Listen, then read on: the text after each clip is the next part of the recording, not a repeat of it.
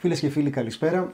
Συνεχίζουμε τις προεκλογικές μας ε, συζητήσεις και έχουμε την ε, χαρά να έχουμε σήμερα μαζί μας τον Παναγιώτη Χουντή, ο οποίος είναι εκπρόσωπος του Κουκουέ Μιλάμδα. Σε καλησπερίζουμε και σε ευχαριστούμε πολύ που ήρθες. Ευχαριστώ πολύ και εγώ για την πρόσκληση, για τη φιλοξενία.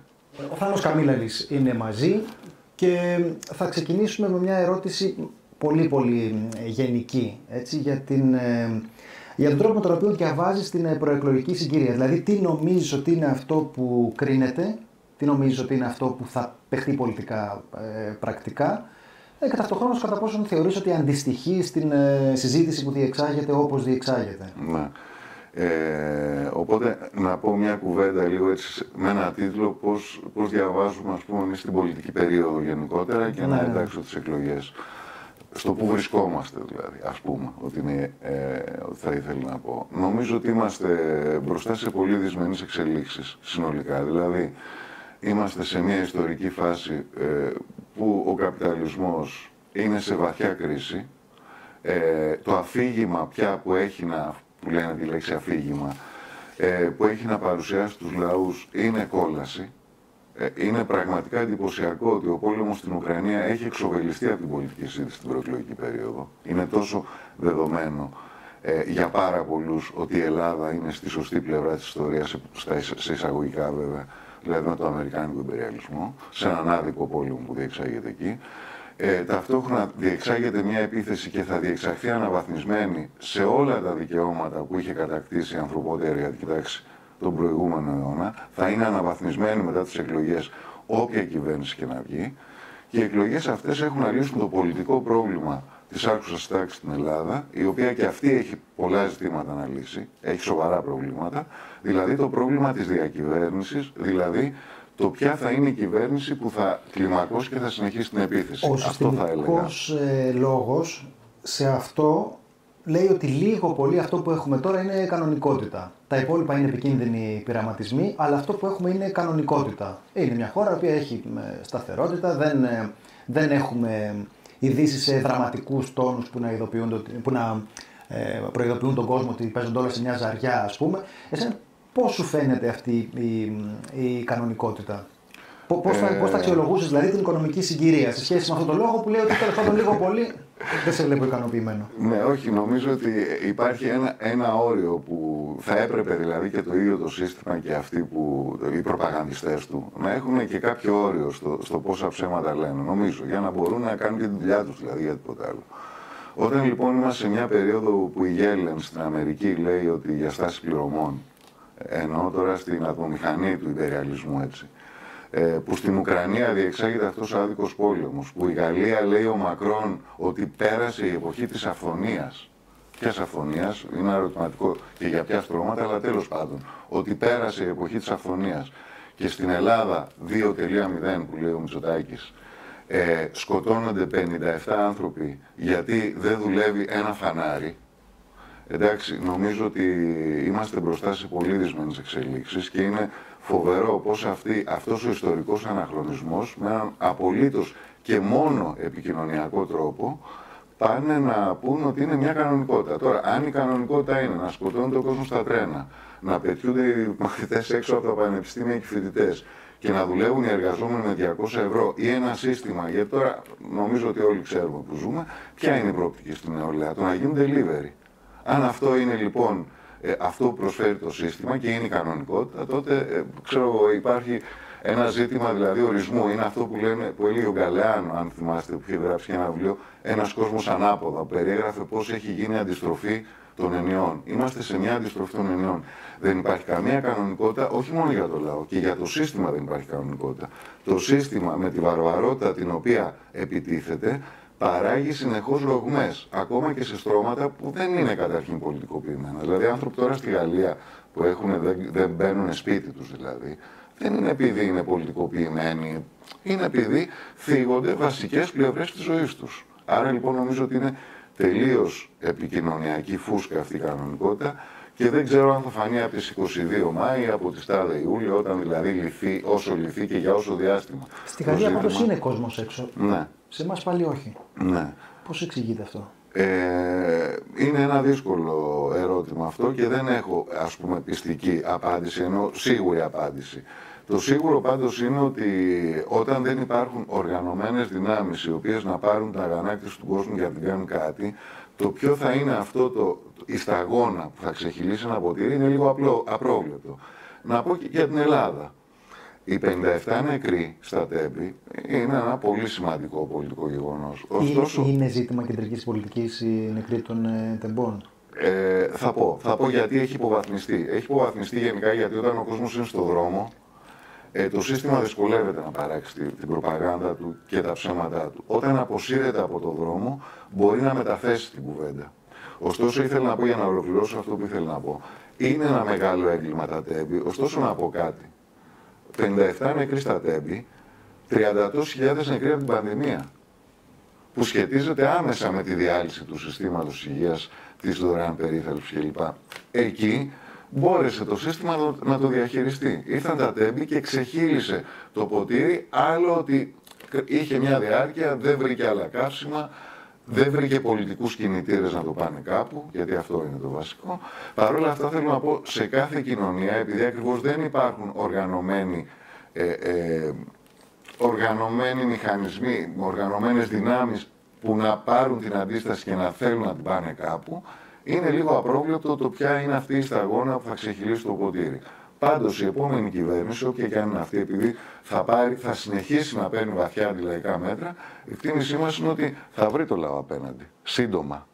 Σύντομα. Άρα θεωρείς ότι ακόμα και αν αλλάξει η κυβέρνηση και έχουμε μια κυβέρνηση σοσιαλδημοκρατίας, να το θέσω έτσι, με το ΣΥΡΙΖΑ ή το ΠΑΣΟΚ, είναι αναπόφευκτο λόγω της κρίσης του καπιταλισμού ότι ναι, λόγω της, λόγω της κρίσης και λόγω του γεγονότος ότι σε μια ανταγωνιστική σχέση πραγμάτων υπάρχει πάντα ο κρίσιμος παράγοντας του σχετισμού δύναμης. Αυτή τη στιγμή το σύστημα είναι σε φάση ε, ξεσαλωμένης επίθεσης. Ε, και επειδή είναι σε φάση ξεσαλωμένης επίθεσης, αυτό εκτιμάμε ότι θα συνεχιστεί όποια και αν είναι η κυβέρνηση ή όπως και να το πει, με όσο κοινωνική υποτίθεται ευαισθησία και να το κάνει. Ε, εκτιμάμε δηλαδή ότι η επίθεση θα βαθύνει ε, πολύ σημαντικά την άλλη μέρα των εκλογών. Άλλωστε, να πω και κάτι έτσι, σε σχέση με μια λέξη που χρησιμοποίησε, ε, δεν νομίζουμε ότι υπάρχει σοσιαλδημοκρατία πια ως μια διαφορετική τάση διαχείρισης του κεφαλαίου. Δεν λέω ότι εμείς ως κομμουνιστές δεν ήμασταν και με αυτή την τάση, επειδή ήταν τάση διαχείρισης του καπιταλισμού. Αλλά λέω δεν υπάρχει ως διαφορετική τάση. Δηλαδή, η εργατική στην Αγγλία, ας πούμε, είναι πιο αριστερή διαχείριση του καπιταλισμού. Ο Σόλτς στη Γερμανία, ο ΣΥΡΙΖΑ, ο Ανδρουλάκης. Γι' αυτό και μετατίθεται η ε, ε, κουβέντα σε πράγματα που είναι μη ταξικά, μη πολιτικά η προεκλογική κουβέντα στην Ελλάδα. Δεν είναι, είναι, είναι εντελώς το, το ίδιο. Όχι, δεν είναι εντελώς το ίδιο, αλλά, ε, αλλά οι, οι γραμμές έχουν πυκνώσει, πώς να το πω. Οι διαφορές είναι μικρές και στο τελικό αποτέλεσμα που, που εμάς μας ενδιαφέρει, εμείς τι θεωρούμε ότι είναι κινητήρια δύναμη παραγωγής εξελίξεων θετικών για τους ανθρώπους και για τους εργαζομένους. Είναι οι πάλι τους, οι αγώνες τους. Ναι, δεν θεωρούμε ότι μια κυβέρνηση ΣΥΡΙΖΑ, ΠΑΣΟΚ ή δεν ξέρω εγώ τι, εν πάση περιπτώσει, θα, θα ανοίξει άλλους δρόμους στην πάλη των μαζών. Και αυτό νομίζω φάνηκε και την τετραετία 15-19. Πώς δηλαδή ο κόσμος που ήταν στον δρόμο ξαφνικά έσπασε. έσπασε. Ναι στο επιχείρημα του ΣΥΡΙΖΑ που λέει ότι εντάξει, εμένα δεν, δεν σου αρέσει αυτό που κάνω, αλλά εδώ που τα λέμε δεν γινόταν και τίποτε άλλο και στο κάτω-κάτω θέλεις ε, Κυριάκο Μητσοτάκη. Αυτό είναι ένα επιχείρημα το οποίο πολλούς προοδευτικούς ανθρώπους, ε, όπως και να το κάνουμε τώρα, τους απευθύνεται αρκετά αποτελεσματικά, διότι υπάρχει ένας τρόμος απέναντι στο πώς ήταν αυτή η τετραετία και πώς θα είναι άμα τους αφήσεις άλλα τέσσερα χρόνια. Πώς απαντάς σε αυτό, ότι είναι τόσο μικρές αυτές οι διαφορές, ούτως ώστε αυτό να είναι αδιάφορο, ας πούμε; Ναι, εγώ απαντάω καταρχήν ότι είναι τόσο μικρές αυτές οι διαφορές, όμως ακόμα πιο σημαντικό για μένα είναι το γεγονός ότι περιθωριοποιείται ακόμα περισσότερο η λαϊκή πάλι. Δηλαδή αυτό που πρόσφερε ο ΣΥΡΙΖΑ, βγάζω όλα τα άλλα, τα μνημόνια, τα αντίστοιχα μέτρα που έγιναν από την κυβέρνηση ΣΥΡΙΖΑ το 2015-19, ε, αυτό που πρόσφερε είναι την περιθωριοποίηση των αγώνων των εργαζομένων. Και εν πάση περιπτώσει νομίζω ότι είναι και χρεοκοπία για ένα κόμμα ε, το να προβάλλει ότι κοιτάξτε αυτόν είναι τόσο αποθητικός που εντάξει ψηφίστε μένα. Δεν σας δεσμεύομαι για τίποτα ουσιαστικά, ουσιαστικά Αλλά ψηφίστε εμένα γιατί κοιτάξτε αυτούς. Αυτό στο κάτω-κάτω, να πω κάτι, έχει φανεί ιστορικά. Αυτά τα διλήμματα του λιγότερου κακού, στην ουσία, επειδή ακριβώς περιθωριοποιούν τη λαϊκή πάλι, μετατίθενται, επανέρχονται μετατοπισμένα όλο και πιο δεξιά. Δηλαδή Μπορώ ήταν, να πω κάτι γιατί συμφωνώ και εγώ. Ήταν, ήταν το δίλημα ΣΥΡΙΖΑ Νέα Δημοκρατία, τώρα γίνεται το, το δίλημα ΣΥΡΙΖΑ Πασόκ Νέα Δημοκρατία. Αύριο πιθανόν να είναι ε, Πασόκ Νέα Δημοκρατία ή Νέα Δημοκρατία εάν. Καταλήγουν στο ή... Μακρόν Λεπέν. Ακριβώς. Και καταλήγουν εκεί που τι θα πω εγώ μετά ότι ο Μακρόν είναι μια ελαφρώς πιο προοδευτική λύση. Δεν είναι. Τώρα τι να κάνω. Δεν είναι. Ναι, ή τέλος πάντων δεν είναι αυτά τα διλήμματα που θα θέλαμε να, να ρυθμίζουν την πολιτική μια, ζωή. Είναι μια κουβέντα που βολεύει το σύστημα να τοποθετούνται έτσι τα διλήμματα γιατί ο κόσμος νιώθει εγώ τι μπορώ να κάνω, δεν μπορώ να κάνω τίποτα. Μια φορά στα τέσσερα χρόνια ή στα δύο ή δεν ξέρω εγώ πότε να πηγαίνω να ψηφίζω αυτόν που μου δημιουργεί ξέρω εγώ μικρότερη απέκτεια. Ε, αυτό ήθελα να, να θέσω και εγώ, γιατί το περιγράφεις και με έναν τρόπο. Μιλάμε για παγκόσμια κρίση καπιταλιστικού συστήματος, μιλάμε για τη ρωσική εισβολή στην Ουκρανία. Ε, Είχαμε και την πανδημία, οπότε πολλοί κόσμος νιώθει ανήμπορο. Το έθεσες κάπως έτσι τώρα. Ναι. Τι λέει το κουκουέ Λάμδα σε έναν κόσμο απογοητευμένο, ίσως και μετά το δημοψήφισμα, σε έναν κόσμο που δεν έχει τη διάθεση να κατέβει σε μια διαδήλωση, που περιμένει, ξέρω εγώ, να. αυτά τη μια φορά στα τέσσερα χρόνια. Ε, το κουκουέ Λάμδα λέει, λέει το εξής ότι στην, επειδή ε, είναι ένα, ε, το οποίο το παθαίνουν νομίζω και οι πολιτικές οργανώσεις να κρίνουν την πολιτική κατάσταση με βάση τις τελευταίες δέκα μέρες του τελευταίου χρόνου. Αν δούμε ιστορικά λοιπόν το ζήτημα, νομίζω ότι είναι αδιαμφισβήτητο ότι οι κατακτήσεις των εργαζομένων σε κάθε επίπεδο, σε κάθε επίπεδο, από τις ελευθερίες τους μέχρι το μεροκάματό τους, τις συντάξεις κλπ, κατακτήθηκαν με αγώνες. Δεύτερον, να πάω στο πιο πρόσφατα τέμπη. Είναι φοβερό πως ενώ ο κόσμος ήταν στον δρόμο, αναγκαζόταν η κυβέρνηση να αλλάζει τη ρητορική της. Δηλαδή ξεκίνησε με τη μεγάλη πατάτα που εμείς ήμασταν σίγουροι. Εμείς, όταν ακούσαμε το Μητσοτάκη να λέει τραγικό προσωπικό λάθος, Λέω εντάξει, τώρα αυτοί παίζουν τη φωτιά. Δηλαδή προκαλούν ήδη αγανακτισμένους ανθρώπους να βγουν στον δρόμο. Το γεγονός λοιπόν ότι ο κόσμος ήταν στον δρόμο δημιούργησε τεράστια πίεση στην κυβέρνηση. Και εμείς λέμε ότι ο κόσμος θα ξαναβρει το κουράγιο να βγει στον δρόμο. Δεν θα είναι εύκολη η πορεία. Η πορεία θα είναι μεγάλη. Δηλαδή θα έχει και απογοητεύσεις και ήττες και επιτυχίες και όλα. Δεν, δεν το λέμε δηλαδή με μια ε, ανετιά που λέω, συγγνώμη για την έκφραση. Έτσι. Ε, με καμιά ανετιά. Θεωρούμε ότι θα είναι διαπυρός και σιδήρου οι εξελίξεις. Όμως είναι ο μόνος δρόμος. Είναι ο μόνος δρόμος να ξαναστήσει σωματεία να ξαναβρει σχέση με την πολιτική, να, να αντιληφθεί ότι η, η, η παρέμβασή του είναι στον αγώνα, είναι στον δρόμο. Και γι' αυτό, να, να κλείσω με αυτό, δείτε τι ενοχλεί τον αντίπαλο. Ο αντίπαλος θωρακίζεται με διαπεριακούς νόμους, με νόμους ενάντια σε διαδηλώσεις, ρίχνει ξύλο σε όποιον πάει να κινηθεί. Αυτό το Ξύλο και συλλήψεις, θα πούμε, αυτό ναι. αφορά και ειδικά τη δική σας, ε, ε τη δική σας οργάνωση. Η έμφαση στα τέμπη δεν είναι ένα παράδειγμα όπου στεκόμαστε σε κάτι που είναι πολύ πρόσφατο. Εγώ συμφωνώ με αυτό που είπες πριν. Είναι δεκάδες χιλιάδες οι νεκροί της πανδημίας και είναι και πιο προφανές το πολιτικό της περιεχόμενο με δεδομένο ότι είναι μια κατάσταση που είχε τον χρόνο να θωρακίσει το σύστημα υγείας, ότι έχουμε έρευνες που αποδεικνύουν ότι οι ελλείψει στο σύστημα υγείας επιδίνωσαν την ε, εθνισμότητα. Άρα θα λέγεις ότι αυτό είναι ένα πιο χειροπιαστά πολιτικό ζήτημα. Οπότε Αναρωτιέμαι κατά πόσο το να επιμένει κανείς το αυθόρμητο κίνημα που δημιουργήθηκε, η διαμαρτυρία που δημιουργήθηκε τις ημέρες μετά το δυστύχημα των ε, τεμπών, είναι πρόσφορος δρόμος για να ασκήσει κριτική στην κυβέρνηση. Μου φαίνεται ότι υπάρχουν θέματα πολύ πιο διάρκεια. Όχι, ναι, σίγουρα υπάρχουν θέματα. Εγώ άλλο, ήθελα, εγώ άλλο προσπάθησα να πω ότι, το, ότι ο κόσμος ήταν στον δρόμο, ανάγκαζε την κυβέρνηση ε, να, να προσαρμόζει το τι θα πει. Αυτό λέω. δηλαδή ότι ο κόσμος στο δρόμο όρισε αυτό το πράγμα. Αν δεν υπήρχε κόσμος στο δρόμο, θα είχαμε επανάληψη του φαινομένου της πανδημίας. Δηλαδή, ε, τραγικό προσωπικό λάθος, εμείς δεν φταίμε σε τίποτα.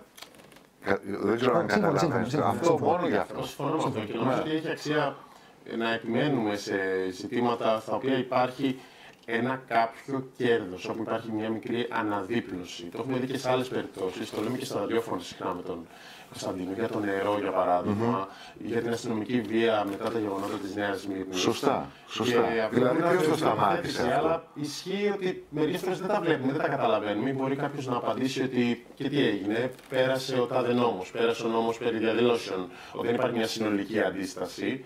Αλλά η ιστορία όντως έχει δείξει ότι όταν υπάρχουν μαζικές διαδηλώσεις, υπάρχουν κάποια βηματάκια πίσω. Και με τους καλλιτέχνες έγινε αυτό μέχρι ένα όριο που καταλήξαμε σε μια. Ε, να σας πω κάτι τώρα. Όλες οι διαδηλώσεις που γίνονται κατ' ουσία είναι παράνομες με βάση το θεσμικό πλαίσιο. Ναι. Έτσι δεν είναι; Με βάση τον νόμο Χρυσοχοίδη δεν θα ναι, Δεν εφαρμόζεται ποτέ. Ναι. ναι. Ψιλοεφαρμόζεται όπου κρίνω τους παίρνει. Κάνουν τη δοκιμή τους βέβαια. Δηλαδή, αυτό, αλλά θέλω να πω ότι, ότι υπάρχει επιμονή διάφορων κομματιών, είτε πολιτικών είτε κοινωνικών εργαζομένων κλπ. να κατεβαίνουν στον δρόμο. Αυτό διαμορφώνει και ένα φρένο στον αντίπαλο. Πες μας τώρα την ε, δικαστική περιπέτεια που αφορά και ναι. μέλη του Κουκουέ Μιλάντα. Ναι, ε, κοιτάξτε τώρα, στην πανδημία, η πανδημία ήταν πολύ αποκαλυπτική για πολλούς. Ήταν πολύ αποκαλυπτική για το σύστημα ήταν πολύ αποκαλυπτική και για το τι αριστερά έχουμε. Και δυστυχώς, εμείς τότε είχαμε την ε, άποψη ότι δεν υπάρχει νεκρός χρόνος. Δηλαδή, υπήρχε μια. Το θα λογαριαστούμε Ακριβώς. Θα λογαριαστούμε μετά. Δεν υπάρχει δηλαδή, λες τον αντίπαλο, δεν ξέρω αν έχετε διαβάσει τον Αστέρι στην Αγγλία, που πέντε η ώρα οι, οι γαλάτε, ας πούμε, ε, κάνουν πίνουν τσάι και περιμένουν ότι οι Ρωμαίοι. Αλλά οι Ρωμαίοι δεν πίνουν τσάι. Λοιπόν, έτσι και εδώ, ε, ο αντίπαλος δεν θα πει παιδιά. Το άνθρωπο που πίνει τσάι αυτό, πρόσχετα. Εντάξει, εντάξει. Λοιπόν, ε, ο αντίπαλος δεν λέει παιδιά τώρα εγώ θα σεβαστώ ότι έχω πανδημία και θα περάσω τίποτα. Βροχή νόμων υπήρχε ναι, ναι, ναι, στην ναι, πανδημία. Ήταν... Λοιπόν, εκεί πέρα λοιπόν υπήρξε μια λογική, όχι μόνο από το ΣΥΡΙΖΑ ε, και από το ΚΚΕ και από δυνάμεις του Εξωκοινοβουλίου, που κατ' ουσία ήταν αυτό που αν το λέγαν καθαρά, αλλά ήταν θα, λογαρια... θα λογαριαστούν μετά. Ε, η οργάνωση μας ήταν από αυτές και άλλες επίσης εξωκοινοβουλευτικές, ε, που προσπάθησαν και να συνεχίσουν να λειτουργούν πολιτικά με τον τρόπο τους και με προσοχή κλπ. Και, και να συνεχίσουν να προπαγανδίζουν τις απόψεις τους και να παρεμβαίνουν στον δρόμο με ανοιχτά καλέσματα. Όχι με καλέσματα ολίγων αντιπροσωπιών ε, για να μην προκαλέσουμε τον αντίπαλο.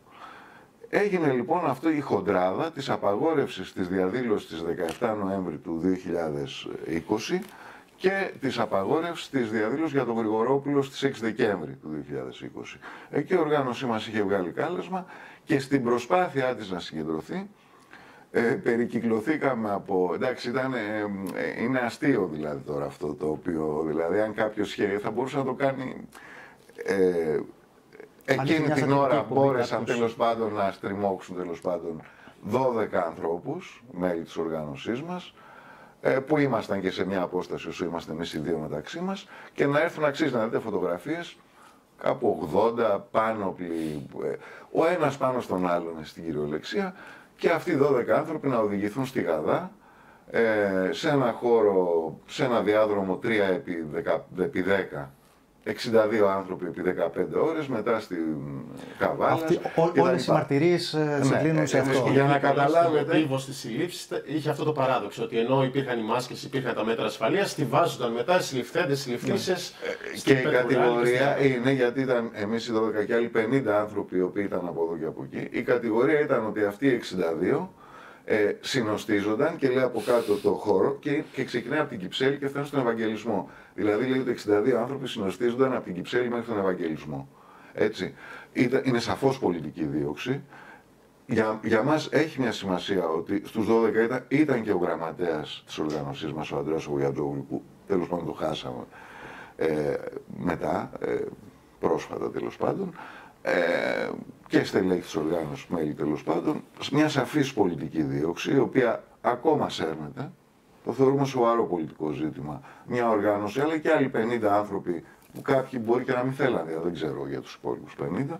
Εμείς αναλαμβάνουμε την ευθύνη, θέλαμε να διαδηλώσουμε, δεν ε, είναι θέμα αυτό. Αλλά θέλω να πω, ε, συνεχίζεται και μάλιστα πρόσφατα με ένα δικονομικό, που δεν θέλω να πω τώρα σε λεπτομέρειες για να μην φάω το χρόνο δηλαδή, παραπέμπεται στο εφετείο, δηλαδή με, με μια έννοια πολιτικά αναβαθμίζεται θα έλεγα. Μάλιστα. Από... Ε, Έχει σημασία πάντως ότι συνεχίζεται. Είμαστε ναι, ναι, χρόνια ναι, μετά. δεν ναι, είναι ναι, μόνο η δίωξη σύλληψη εκείνης της περίοδου και νωρίτερα που ακόμα τρέχουν άνθρωποι στα δικαστήρια. Ε, με το πρόστιμο. Σας είχε επιβληθεί και πρόστιμο. Και πρόστιμο. Ναι. Ε, να ζητήσω λίγο να έρθουμε στα, στα της εκπαίδευσης. Ε, μια που εργάζεσαι, και στην, εκπαιδευτικός εργάζεσαι στην, κιόλας, ναι. ε, στην εκπαίδευση, Ναι. οπότε θέλω να μας, ε, να μας περιγράψεις λιγάκι την εκπαίδευση όπως την οραματίζει η Νέα Δημοκρατία. Τι είναι η αυτονομία του σχολείου, δηλαδή πώς, ε, πώς θα πρέπει να μεταφράζουμε αυτούς τους ε, όρους. Ναι. Κοιτάξτε, και στην εκπαίδευση συντελείται μια ε, πολύ βαριά επίθεση, σ- ενώ από, τη, από την πρωτοβάθμια μέχρι την τριτοβάθμια. Ε, ποια θα έλεγα ότι είναι οι βασικές, ε, οι βασικοί, τα βασικά σημεία δηλαδή που χαρακτηρίζουν την επίθεση αυτή. Το ένα είναι η ένταση της ταξικότητας, ο υδραυλικός από το περιστέρι που λέει ο Μητσοτάκης, η ένταση της ταξικότητας. Εγώ είμαι στη δευτεροβάθμια, είναι πολύ σαφές αυτό με όλη αυτή την ε, καταιγίδα μέτρων ελάχιστης βάσης αγωγής, ε, μείωσης ακταίων, τράπεζας θεμάτων κτλ. Ε, εκφράστηκε με όλο αυτό το, εμείς το λέμε το τσίρκο της τηλεκπαίδευσης, μια ταξική και τοξική ε, κατάσταση. Ε, εκφράζεται με την αξιολόγηση και την αυτονομία. Ε, θέλω να πω κάτι για την Θέλεις, αυτονομία, ε, επειδή λι- λίγο, λίγο με- να τα... Ναι. ναι. Να, να μας τα εξηγήσεις, Ναι, δηλαδή, ε, τσίρκο της- με- λοιπόν, ναι. όσο μπορεί συνοπτικά ναι, να ναι, με εξηγήσεις. μία φράση για το καθένα έτσι θα πω. Εντάξει, τράπεζα θεμάτων ελάχιστη βάση αγωγής είναι πολύ σοβαρό ζήτημα και θα έλεγα, θα μπορούσε κάποιο να θέσει το ερώτημα που μου θέσατε πριν, γιατί δεν έχει γίνει χαμός. Είναι για να γίνει χαμός. Δηλαδή, μεγάλο τμήμα της μαθητικής νεολαίας πετιέται από τα, έξω από τα πανεπιστήμια, δεν φτάνει στην πύλη των πανεπιστημίων λόγω αυτών των δύο. Ε, η τράπεζα θεμάτων, ξέρετε, είναι σαν να δίνεις μισοπανελλαδικές από την πρώτη ηλικία ουσιαστικά, γιατί τα μισά θέματα σου έρχονται από πάνω. Ε, ε, ε, τηλεκπαίδευση. Κοιτάξτε, η τηλεκπαίδευση, ε, εμείς στοχοποιηθήκαμε για, για την κόντρα που δώσαμε στη τηλεκπαίδευση. Δηλαδή, ε, διάφοροι μ, πολύ συ- έτσι, σημαίνονται στα κυρίαρχα κανάλια, ας πούμε, Συναδελφοί μέσα, σου. μέσα μαζικής ε, ενημέρωσης εξαπάτησης, δηλαδή μέχρι που γράφτηκε ότι πρέπει να μας κλείσουν σε ψυχιατρίο. Μέχρι αυτό έχει γραφτεί δηλαδή. Ε, η τηλεκπαίδευση λοιπόν ήταν ένας μηχανισμός ταξικός, γιατί ταξικός, όχι γιατί όπως λέγεται με χειδαιότητα ένας μαθητής από λαϊκή οικογένεια δεν έχει τάμπλετ και βγήκε η κυβέρνηση μετά να πει θα δώσω μια επιδότηση, ένα πάσπος, θέλω να πάρετε ένα τάμπλετ. Γιατί η συνολική όρη ζωής του, γιατί η μεταφορά του σχολείου στο σπίτι για έναν άνθρωπο, για ένα νέο που είναι στο σπίτι του 50 τετραγωνικά με δύο αδέρφια, με πατέρα άνεργο, με λογαριασμούς να τρέχουν, νομίζω ότι καταλαβαίνετε, δεν είναι ίδια με έναν άνθρωπο που έχει άλλες δυνατότητες. Έτσι, άρα η μεταφορά του σχολείου στο σπίτι είναι ταξική από μόνη της, είναι τοξική, δηλαδή διέλυσε μαθησιακά μεγάλο τμήμα εκείνης της γενιάς που μεγάλωνε εκείνη τη στιγμή και εμείς με το που ξεκίνησε γράψαμε ένα χαρτί που λέει ότι θα χρησιμοποιηθεί ενάντια στις μαθητικές καταλήψεις, ότι θα χρησιμοποιηθεί για να καλυφθεί η πολιτική της αδιοριστίας. Μας λέγανε είστε υπερβολικοί, τι είναι αυτά που λέτε κλπ. Και είναι Λίγο δημαγωγίες, μετά και- έρχεται λοιπόν στις μαθητικές καταλήψεις, όποτε γίνεται μαθητική κατάληψη θα κάνετε τηλεκπαίδευση. Έτσι, εγκύκλειος. Βγαίνει η βουλευτής της Νέας Δημοκρατίας, λέει στα απομακρυσμένα χωριά να κάνετε τηλεκπαίδευση, μην τρέχουμε να ψάχνουμε για αναπληρωτές. Κατάκτηση παρουσίασε στα κανάλια ότι ο Μητσοτάκης στη Γάβδο κανόνισε να γίνει τηλεκπαίδευση. Τη μάχη τη δώσαμε σχεδόν μόνοι μας ενάντια στη τηλεκπαίδευση.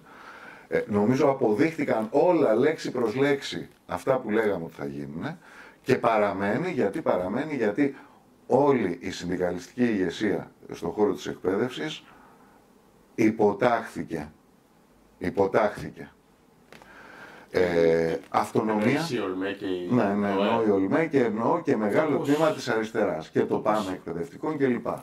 Πώς ε, το στοιχειοθετείς, δεδομένου ότι υπάρχει πολύ συχνά ανοιχτή κόντρα.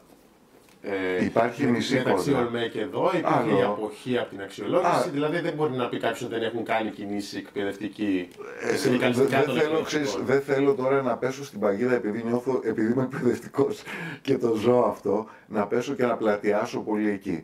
Ε, η εκτίμησή μας χοντρικά και νομίζω δεν είμαστε καθόλου άδικοι είναι ότι ο ΛΜΕ και η ΔΟΕ ε, δεν έδωσε καμία ουσιαστική κόντρα ακόμα και με την απεργία αποχή, με την αξιολόγηση, με το που βγήκε παράνομη δεν προσπάθησε ούτε να τη συνεχίσει ούτε να την κάνει κάτι.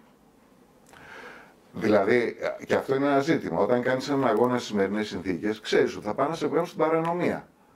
Θα πεις με το πρώτο τζαρτζάρισμα που θα δεχτείς ότι κάνω πίσω, ή θα δώσεις τη μάχη. Όταν βλέπεις ότι η συντριπτική πλειοψηφία του κόσμου θέλει να δώσει τη μάχη.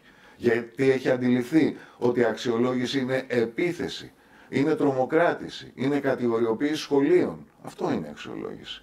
Ε, δεν θα το πούνε έτσι. Θα πούν κάνω νόμο για την κατηγορία για να τρομοκρατήσω εκπαιδευτικό. Δεν θα το πούνε. Και άλλοι που κάνουν στο Ιράκ και το λένε επιχείρηση ειρήνη. Έτσι είναι αυτά τα πράγματα. Τι δεν πρέπει να γίνει; Για να πάμε και στο θέμα των θέσεων.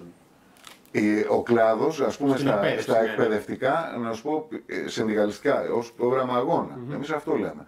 Πρέπει να μπει στη μάχη να οργανώσει μια μεγάλη κεντρική απεργιακή μάχη. Να πει Βάζω αυτά τα τρία ζητήματα, κάτω η αξιολόγηση, η ελάχιστη βάση εισαγωγής τράπεζα θεμάτων, αυξήσει τους μισθούς, λέω έτσι χοντρικά έτσι, και να πει κάνω τότε μια απεργία. Φτιάχνω απεργιακά ταμεία, επιτροπές αγώνα κλπ. Αυτά τώρα δεν είναι. Τίποτα από αυτά δεν έγινε. Και αυτονομία. Άλλη μια λέξη. Τι αυτονομία; Εδώ υπάρχει κεντρικός έλεγχος. Δηλαδή, τι εννοούν αυτή η αυτονομία; Εννοούν θα κοιτάμε τι ώρα πήγε στην τουαλέτα ο καθηγητής και ο μαθητής, αλλά όταν είναι να πρέπει να δώσουμε λεφτά για το ρεύμα, τότε αυτονομία, παιδιά. Αυτό εννοούν αυτονομία.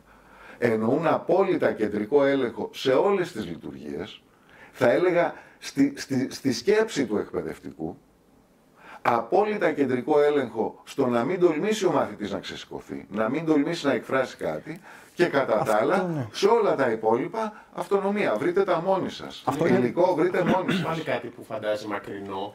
Ίσως όπως είπες για την τηλεκπαίδευση, ότι όταν στείλατε την ανακοίνωση που λέγατε ναι, για ναι, τις ναι. ήταν πολύ πίσω.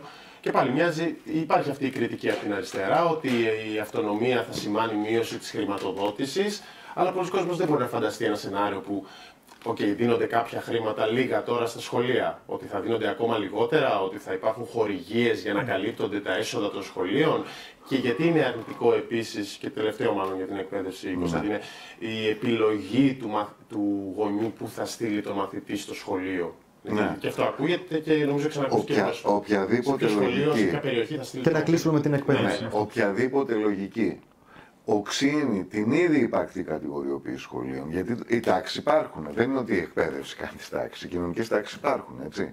Όταν εγώ λοιπόν με εκπαιδευτικά μέτρα την οξύνω και το, πω ότι αυτό το σχολείο είναι καλό, γιατί είναι καλό, γιατί τυχαίνει οι γονείς που πηγαίνουν εκεί τα παιδιά τους να, να μπορούν να κάνουν και φροντιστήρια ή να έχουν πιο ήρεμη ζωή στο σπίτι, ή γιατί αυτό το σχολείο δεν μας ζητάει πολλά λεφτά για αυτό το TPS, γιατί και για να γυρίσω στην αυτονομία, αυτονομία ξέρεις τι εννοούν αυτοί. Εννοούν σπρώχνω την ευθύνη των αποτυχιών στα θύματα. Και αυτό κάνουν και με την αξιολόγηση. Γιατί εσένα στην τραπεζόνα δεν περνάνε πολύ στο Πολυτεχνείο, φταίει εσύ. Φταίει η μονάδα, η σχολική μονάδα. Η αυτονομία της σχολικής μονάδας έχει να κάνει και με τη χρηματοδότηση αλλά και με τη διάχυση των ευθυνών. Των ευθυνών μιας κατάστασης που παράγονται από μια κεντρική πολιτική επιλογή εκπαιδευτική. Λοιπόν, να... Ναι. Ναι, ναι, το ξέρω ότι είναι ναι, πολύ είναι ενδιαφέρον και, και για μας. Αγγίξαμε και ευαίσθητη, αγγίξαμε ευαίσθητη χορδή. Όχι, έχουν πάρα πολύ ενδιαφέρον, είναι πολύ ωραίο που τα είπαμε. Αλλά ε, θέλω να μας ε, να περάσουμε λίγο στο, στη, στη, διαχείριση του προσφυγικού μεταναστευτικού και στον ε, φράχτη του ευρου Μια που ε, εκεί είναι μια περίπτωση όπου έχουμε μια βάρβαρη πολιτική η οποία αρχίζει και έχει ευρύτερη αποδοχή εκτός Νέας Δημοκρατίας. Έχουμε την αίσθηση και ο Κωνσταντινός και εγώ ότι δεν συζητιέται ότι το προσφυγικό έχει μείνει έξω από την κεντρική αντιπαράθεση των δύο μεγάλων κομμάτων. Καλά, ας πούμε ε, ότι είναι κάπως σοκαριστικό ότι δεν υπήρχε στον ε, ΣΥΡΙΖΑ στις 11 θέσεις του. Ε, όχι μόνο αυτό. Νομίζω ότι είναι ένας μηχανισμός να πιεστεί ο ΣΥΡΙΖΑ να πάει ακόμα πιο δεξιά σε, σε μια ατζέντα που υποτίθεται ότι έχει κάποιες ευαισθησίες και έχει πάει. Έχει πάει. Γιατί δεν τολμάει. Κοιτάξτε τώρα, όποιος πήγε το προσφυγικό είναι υποχρεωμένος, επειδή είμαστε νοήμονες άνθρωποι και ενήλικοι γενικά, είναι υποχρεωμένος να πει και για τις αιτίες που γεννάνε την κατάσταση αυτή. Έτσι. Όταν λοιπόν έχεις μια κατάσταση που κάθε μέρα ξεσπάει ένας πόλεμος, θα, θα υπάρξουν πρόσφυγες. Είναι προφανές αυτό. Και σε αυτή την κατάσταση λοιπόν πώς θα, θα σκεφτείς από ποια μπάντα; ως το σύστημα, η άρχουσα τάξη στην Ελλάδα που κονομάει ένα πρόβλημα; Ή θα σκεφτείς ως ο πρόσφυγας που είσαι το θύμα αυτών των πολεμικών αναμετρήσεων; Εμείς είμαστε από, από αυτή την πάντα. Δηλαδή ότι οι πρόσφυγες έχουν δικαίωμα στη ζωή, έχουν ίσα δικαιώματα, ούτε έχουμε τη λογική που λένε άλλοι ε, να πάνε στις χώρες ε, προορισμού τους. Τι σημαίνει αυτό; Δηλαδή αν δεν πάνε δεν πρέπει να ζήσουν. Δηλαδή πάνε περάσουν το, ε, τα σύνορα και πρέπει να πυροβολούνται οι πρόσφυγες οι οποίοι έχουν... Ε, πολλοί, δηλαδή, πολλοί λένε ναι. Δηλαδή, ναι, πολλοί λένε ναι, γιατί, μα, γιατί, γιατί ο φασισμός σήμερα ε, είναι, είναι λάθος κατά τη γνώμη μου ότι είναι η Χρυσή Αυγή, ας πούμε. Ο φασισμός παράγεται από το σύστημα το επίσημο με τις γραβάτες. Και όταν παράγεται από εκεί, τότε θα βγει και ο Ξαυγίτης, ο Μαχαιροβγάλτης, ας πούμε, να κάνει αυτό που θα κάνει. Κατηγορείται πάντως ως το ουτοπικό το αίτημα των ανοιχτών συνόρων όπως χαρακτηρίζεται. Κοιτάξτε, το, δεν υπάρχει για μας σε αυτές τις συνθήκες σήμερα, δεν υπάρχουν ανοιχτά σύνορα. Δηλαδή, ως έκφραση είναι ε, ψεύτικη. Ε, δηλαδή, μακάρι να υπάρχουν στο μέλλον, δεν υπάρχουν σήμερα. Αυτό όμως έχει, είναι διαφορετικό πράγμα, επειδή αυτό ξέρετε συνάδει και με μια ολόκληρη ας πούμε κοσμοθεωρία το πώς αντιλαμβάνει το μέλλον, στο αν ο καπιταλισμός έχει ξεπεράσει τα σύνορα κλπ. Ε, αυτό όμως είναι άλλο πράγμα. Τι, τι εννοούμε ανοιχτά σύνορα, ότι ένας που καταδιώκεται δεν θα έχει καταφύγιο; Προφανώς και θα έχει καταφύγιο. Δηλαδή για μας δεν υπάρχει τέτοια, τέτοιο ερώτημα. Ή αν ο φράκτης είναι προοδευτικός, ο φράκτης. Δηλαδή ο φράκτης όταν τον κάνει ο Τραμπ είναι κακός, ε, ενώ όταν τον κάνουν εδώ πέρα είναι προοδευτικός. Και μιλάνε ας πούμε για ασύμετρες απειλές, για ανθρώπους που έρχονται κυνηγημένοι, που, που έχουν χάσει τις οικογένειές τους, επειδή ο, ο, ο, ο πολεμικός σχηματισμός που συμμετέχει η Ελλάδα, το ΝΑΤΟ, έχει κάνει όλο, όλο τον κόσμο έτσι; Χωρίς να, άμα πούμε και στην Ουκρανία για να μην παρεξηγηθώ ότι είμαι από ε, τη μία πλευρά, αλλά θέλω να πω ότι αυτό νομίζω ότι είναι για μας. Και το γεγονός ότι δεν μιλάνε, είναι ότι διάφοροι θέλουν να χαϊδεύουν διάφορα ακροατήρια. Αυτό είναι στην πραγματικότητα. Ε, να πούμε μια κουβέντα για, την, ε, για την Ουκρανία και να περάσουμε ναι, στα πιο... Ναι. Κοιτάξτε, η Ουκρανία θα πω μια κουβέντα λοιπόν, επειδή θέλω να πω, και αν με ρωτάει αν είναι κάτι που θα έλεγα. Γιατί είναι εντυπωσιακό πώς στο δημόσιο διάλογο λείπει το θέμα αυτό. Λείπει. Δηλαδή βγαίνουν έξω διάφοροι παράγοντες του συστήματος τώρα με, ε, ξέρω, με ιστορία στο, έτσι, και λένε ότι είμαστε στα πρόθυρα Τρίτου Παγκοσμίου Πολέμου. Δεν συμμεριζόμαστε ακριβώς αυτή την εκτίμηση. Αλλά θέλω να πω και μόνο ότι αρχίζει να τίθεται στην κουβέντα το ζήτημα αυτό, νομίζω ότι αντιλαμβανόμαστε τη βαρύτητα της κατάστασης και στην Ελλάδα τίποτα. Δεν υπάρχει αυτό. Γιατί, Γιατί υπάρχει μια συμφωνία ότι μπορείτε να πείτε ό,τι να είναι για ό,τι να είναι, για τις υποκλοπές, για το αν καλώσει εκεί το άλλο, το, το παράλληλο, αλλά στο ότι η Ελλάδα θα είναι το σουρωτήρι όπου θα περνάει ο, ο νατοικός στρατός για να συμμετέχει σε πολέμους στη Μέση Ανατολή και στην Ουκρανία, είναι μη μην τολμήσει κανείς να πει τίποτα.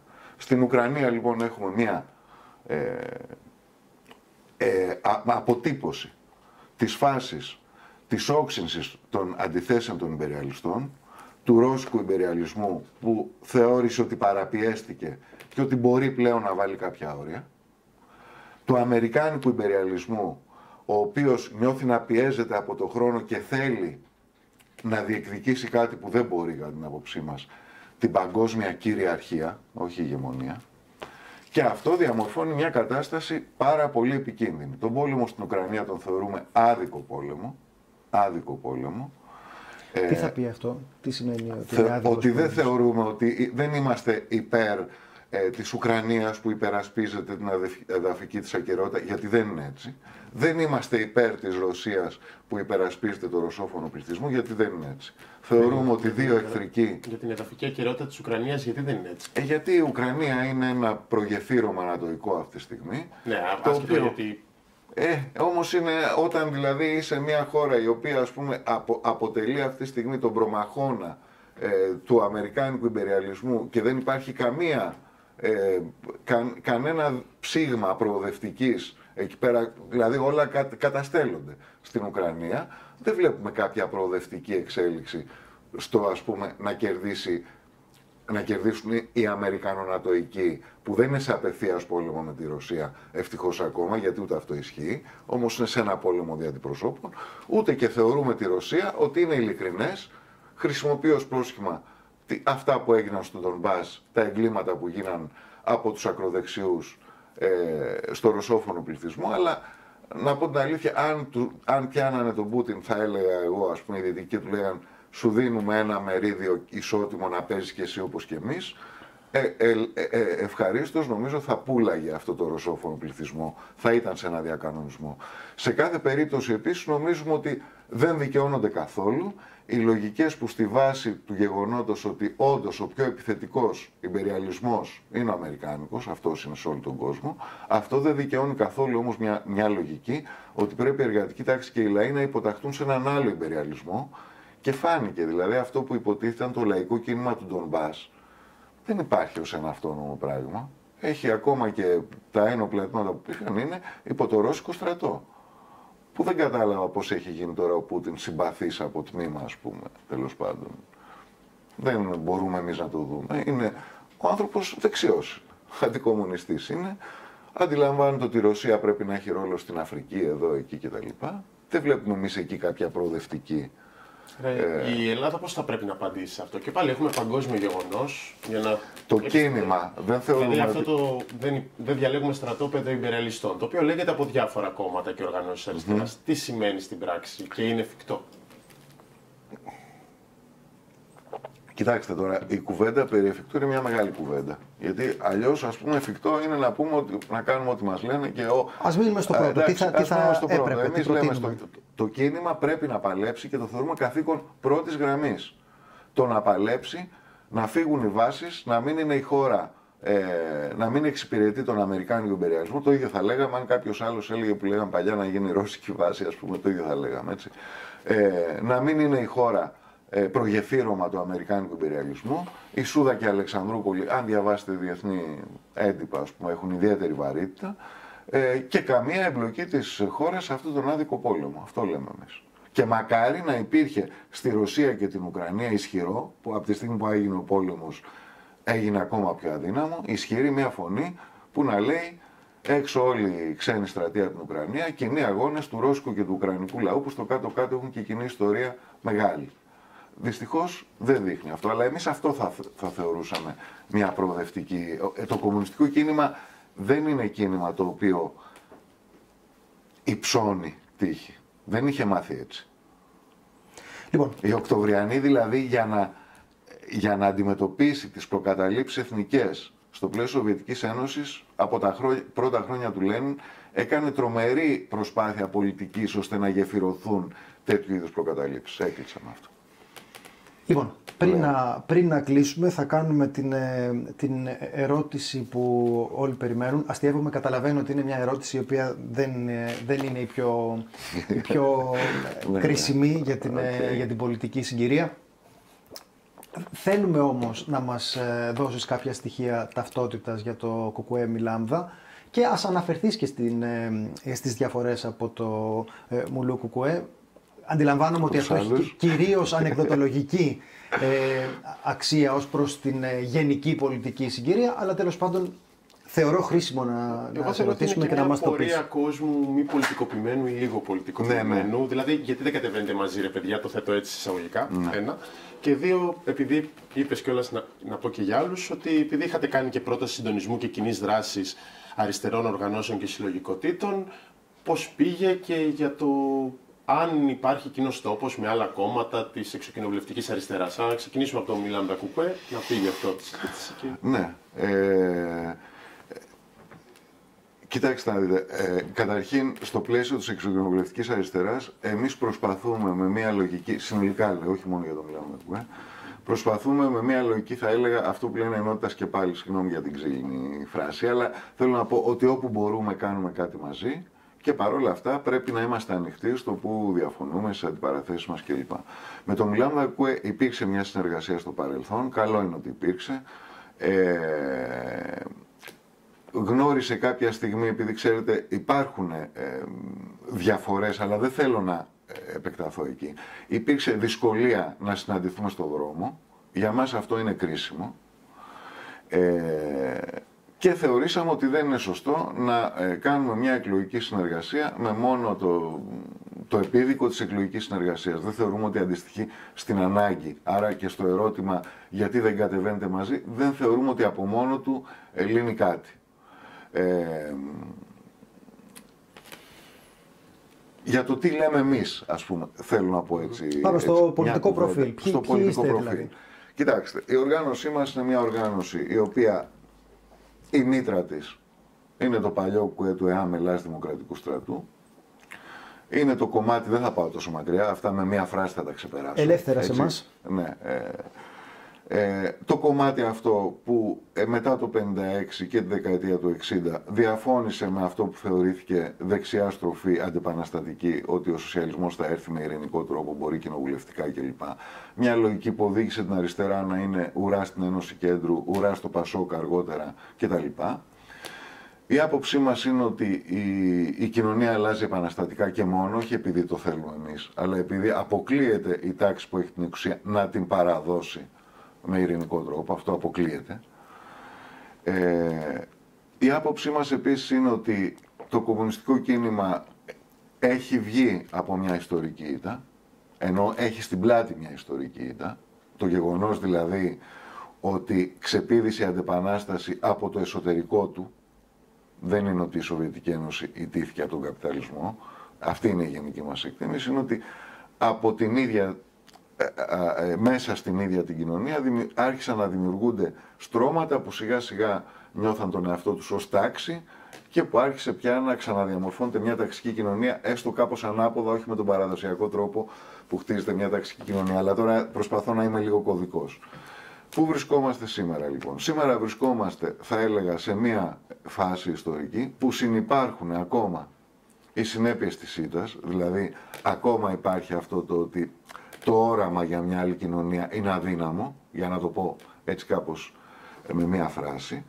Ε, ωστόσο, από την άλλη, ακριβώς η χρεοκοπία του καπιταλισμού διαμορφώνει συνεχώς αστάθειες και ρήγματα ε, που θα δημιουργήσουν, που δημιουργούν σιγά σιγά συνθήκες να ξαναψηλαφηθεί αυτό το όραμα της επανάστασης, του γκρεμίσματος αυτής της κοινωνίας και του χτισήματος μιας άλλης δεν θεωρούμε ότι η, η ανασυγκρότηση, όπως θέλετε πείτε, της εργατικής τάξης, ως τάξη για τον εαυτό της, του κομμουνιστικού οράματος κλπ. θα γίνει αν διαβάσουμε και πούμε τι κάνανε το 1932 εκεί και να κάνουμε το ίδιο. Δεν θεωρούμε ότι είναι αυτό. Δηλαδή θεωρούμε ότι βλέποντας το παρελθόν οι απαντήσεις είναι μπροστά. Πάντως, ε, νομίζω ότι ανάμεσα στις χρεοκοπίες που έχουν υπάρξει έχει υπάρξει πάνω απ' όλα η χρεοκοπία της αντίληψης ότι ο καπιταλισμός μπορεί να είναι ένα ανθρώπινο σύστημα προοδευτικό με την ιστορική έννοια. Λοιπόν, σε ευχαριστούμε πάρα πολύ. Ευχαριστούμε για Σας την... Ε, ευχαριστούμε και εμείς. Καλούμε τον κόσμο να μας υποστηρίξει στις εκλογές χωρίς να περιμένουμε ότι από τις εκλογές ε, θα αλλάξει κάτι. Τον καλούμε να, να στηρίξει μια γραμμή αγώνα η οποία έχει δοκιμαστεί για πολλά χρόνια γιατί το ΚΟΕ Μιλάνδα με τα κουσούρια του και τις αδυναμίες του δεν έκλεισε ποτέ το μάτι στον αντίπαλο και έχει συμμετάσχει σε όλους τους αγώνες που έχουν γίνει. Ε, και τον καλούμε τον κόσμο στους αγώνες ε, του μέλλοντος. Πιστεύουμε ότι δεν θα είναι μακρινό αυτό το μέλλον που θα ξαναξεσπάσουν σοβαροί αγώνες και από την νεολαία αλλά και από, και από τον εργαζόμενο λαό. Λοιπόν, ευχαριστούμε πάρα πολύ τον ε, Παναγιώτη Χουντή είναι οι προεκλογικές συζητήσεις που κάνουμε στο The Press Project. Ε, είναι εκπρόσωπος του ΚΚΕ Μιλάνδα και ήταν χαρά μας που τον είχαμε μαζί μας. Σας ευχαριστώ πολύ.